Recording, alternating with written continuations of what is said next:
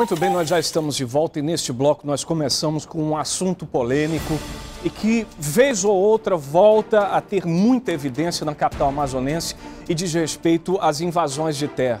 As ocupações de áreas particulares ou públicas que se tornaram um problema muito sério durante muito tempo, deu uma pausa e agora parece que voltou com força total. Na zona norte da capital, ontem, a repórter Roberta Cunha acompanhou um conflito entre ocupantes de uma área particular e a polícia, além, é claro, dos proprietários daquela área. Foi uma situação complicada que chegou até a ameaçar a Avenida Torquato Tapajós de paradas. Os ocupantes queriam fechar a Torquato Tapajós em protesto contra a retirada deles dessa área particular. Nós vamos acompanhar a reportagem e já já comentamos. Na tela do agora. Solta aí, diretor. A confusão começou quando as máquinas chegaram ao local para retirar os barracos. Em protesto, os ocupantes tentaram fechar a Avenida Torquato Tapajós. Eles colocaram fogo em pneus e pedaços de madeira, como mostram essas imagens gravadas de um celular. A polícia foi chamada e recebida com pedras. Eles acuaram os seguranças aí, eles foram obrigados a reagir, depois alguns correram. E a nossa viatura foi apedrejada, entendeu? Apedrejaram um sargento nosso. Os homens que fazem a segurança particular do terreno não quiseram gravar entrevista, mas disseram que foram agredidos e revidaram. Este foi atingido no ombro esquerdo. O pedaço de compensado foi usado como escudo. Nele, marcas de balas. Mas, segundo os ocupantes, as agressões começaram por parte da segurança. Os meninos estavam trabalhando, não estavam mexendo com ninguém, entendeu? Chegaram lá atirando no meio das crianças entendeu? Estavam atirando no meio das crianças lá, entendeu? ninguém aceitou isso aí. Uns saíram correndo, outros bateram de frente. Mesmo com a presença de homens da Rocan e da Força Tática, os invasores não saíam do local e a todo momento faziam afronta. A área é particular e tem 9.260 metros quadrados. A ocupação começou na semana passada e cerca de 300 famílias já estão no local. Durante a confusão, quatro pessoas foram detidas. Algumas apresentaram marcas de agressões físicas. Elas foram ouvidas aqui no 18º DIP no Novo Israel e liberadas em seguida. Este rapaz diz que foi agredido nas costas pelo segurança particular. O segurança chegou batendo na frente, o policial faz segurar o cara. Quem foi que te agrediu? Segurança de lá, todinho, eles estão tudo armado lá com arma de fogo lá, não pode. Este outro parou no local por curiosidade e acabou detido. Desci da rota lá porque eu vi aquela multidão lá e eu moro aí perto também. Me pegaram, me jogaram no chão lá, nem sabia por quê. Eu fui lá para saber, a curiosidade, né? O dono do terreno registrou o boletim de ocorrência e disse que já tem projeto para implantar uma fábrica de componentes no local. A construção deve começar em fevereiro do ano que vem. E Manaus está vendo esse problema, né? Isso é uma indústria, tem pessoas que se beneficiam com isso e, e ganham dinheiro com isso. Isso é um fato indiscutível. Eu, eu acho que que a sociedade não pode admitir mais isso. Né? A cidade, uma área em frente do aeroporto, uma área central de Manaus, é, é preciso tomar providência e procurar as pessoas que estão por trás desse processo. Ele já tomou medidas administrativas para isolar a área e evitar que a invasão continue. Muito bem. Olha, de 2007 a 2010 nós tivemos uma onda de invasões aqui na capital amazonense como a gente nunca havia observado antes, mas era uma atrás da outra e um problema sério social que era agravado a cada vez que se abria uma nova frente de invasão. A zona que mais sofreu com isso foi a zona norte da capital e a gente observa hoje a, a mesma realidade, o mesmo quadro se repetindo. Em 2010, a polícia tomou uma providência muito eficaz. Ela foi em busca das lideranças. Eu lembro bem que pelo menos três líderes desses movimentos de ocupação irregular de terra na capital, terras particulares e que não estão ah, ali sem nenhum tipo de uso. Muito pelo contrário, dá para observar pelas imagens que esse terreno aqui passou por um serviço de terraplanagem para logo depois receber a instalação de uma fábrica de uma indústria de componentes. Então tá aqui, ó. Tem serventia mas os moradores querem ocupar. E eles não têm culpa de nada. Vou levar essa informação para você. Esses moradores, essas pessoas, esses ocupantes, melhor dizendo, que estão aqui, eles são movidos, são levados por uma falsa esperança. E os autores dessa, falta, dessa falsa esperança são os líderes que conseguem convencê-los a se expor dessa maneira e fazer parte de uma frente de invasão de terras que vem crescendo novamente na zona norte da capital. Fico me perguntando se não é a hora da polícia agir mais uma vez. Quando eu falo a polícia, é a polícia civil, o trabalho de investigação, que é fundamental para fazer com que essas lideranças que precisam responder por crimes ambientais, principalmente por esse tipo de crime e também por um crime contra o patrimônio. Isso aqui é terra particular, meu amigo. Quando chega lá, derruba, quebra casa. Tá, é um crime. Tá, tá tornando aqui. Isso não pode. A gente não pode aceitar mais uma vez que se multiplique esse comércio clandestino de terras chamado invasão de, invasão de áreas aqui na capital amazonense. E a gente sabe disso. Eu já estive em áreas invadidas, já conversei inclusive com lideranças ao longo de, de, desse caminho no jornalismo e a gente sabe que existe sim. É uma falsa esperança. Essas pessoas são levadas a acreditar que ali vão ter a possibilidade de ter um terreno e construir uma casa. É a, a, essa falsa esperança faz com que essas pessoas às vezes vendam o pouco que têm. Vendam uma geladeira, vendam uma TV, vendam um carro, aquilo que pouco que construiu, conseguiu construir para pagar um advogado, para pagar um, uma cota que se faz e esse dinheiro muitas vezes some e o que acontece na maior parte das vezes a gente observa aqui é o proprietário entrando com o mandado de reintegração de posse e essas pessoas sendo retiradas da área à força em cumprimento a um mandado judicial. Isso precisa ser visto, precisa ser investigado o quanto antes, porque a gente está contando aqui já.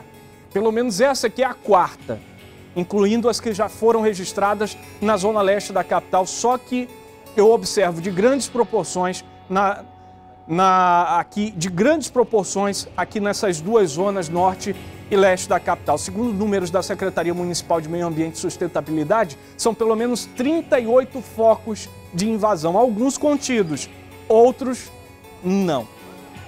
11 horas 39 minutos. Daqui a pouco a gente traz informações de polícia. Por enquanto, vem Márcia Lasmar preparada e pronta para trazer uma dica para você que nos acompanha aí do outro lado. Márcia.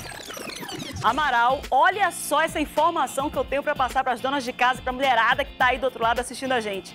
Quer acabar com as celulites em até oito semanas? Com o Imecap Celute, agora é possível. Imecap Celute, o primeiro tratamento completo para acabar de vez com a celulite. Imecap Celute é diferente, é o único a unir cápsulas e cremes. Só o Imecap Celute age de dentro para fora e de fora para dentro. Acompanhe aí o recado. Imecap Celute Creme age diretamente nas celulites mais resistentes, diminuindo assim o aspecto casca de laranja e as ondulações da pele. Já Imecap Celute Cápsulas age nas camadas mais profundas da pele onde os cremes não alcançam, quebrando as moléculas de gordura e mantendo a pele mais firme e sem celulite. E Mecap Celute atua diretamente nas áreas das coxas, bumbum e quadris, ajudando a reduzir a celulite, além de acelerar o metabolismo, potencializando a queima de gordura. Estudos clínicos já comprovaram a eficácia do Imecap Celute no tratamento da celulite. Comprove você também. Imecap Celute mais resultados em menos tempo. Você encontra Mecap Celute em todas as farmácias do Brasil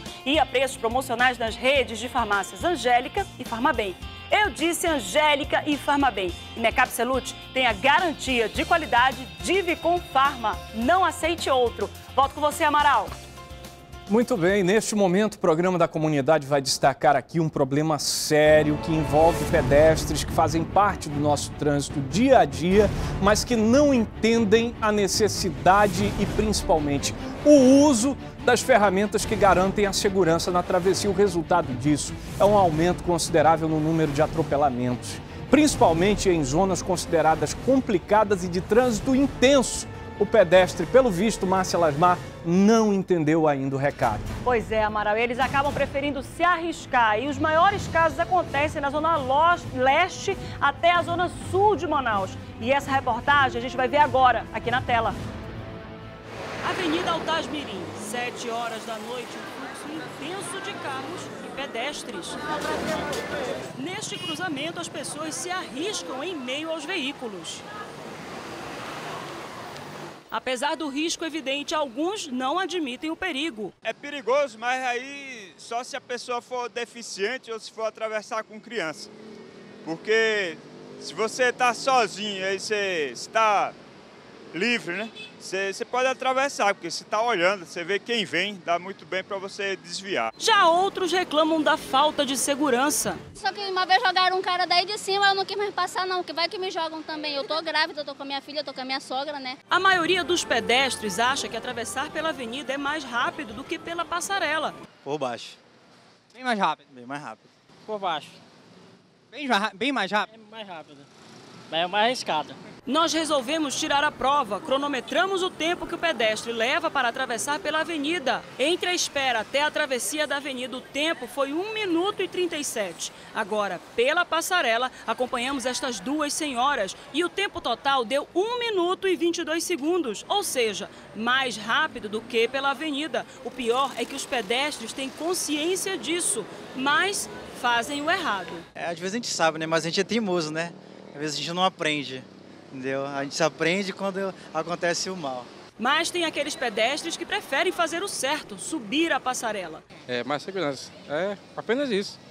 Evita acidentes, entendeu? Na Avenida Codajás, no bairro da Cachoeirinha, Zona Sul, esta passarela que fica em frente ao EA e também ao Hospital Adriano Jorge é pouco utilizada. Aqui, mais uma vez, as pessoas preferem atravessar a via. Você sobe nessa passarela da qual a iluminação não é tão boa assim, e aí você coloca a sua própria segurança em risco, né? Aí você é, fica entre a cruz e a espada, porque você corre risco ao subir a passarela, enquanto a partida você corre também risco ao atravessar, né?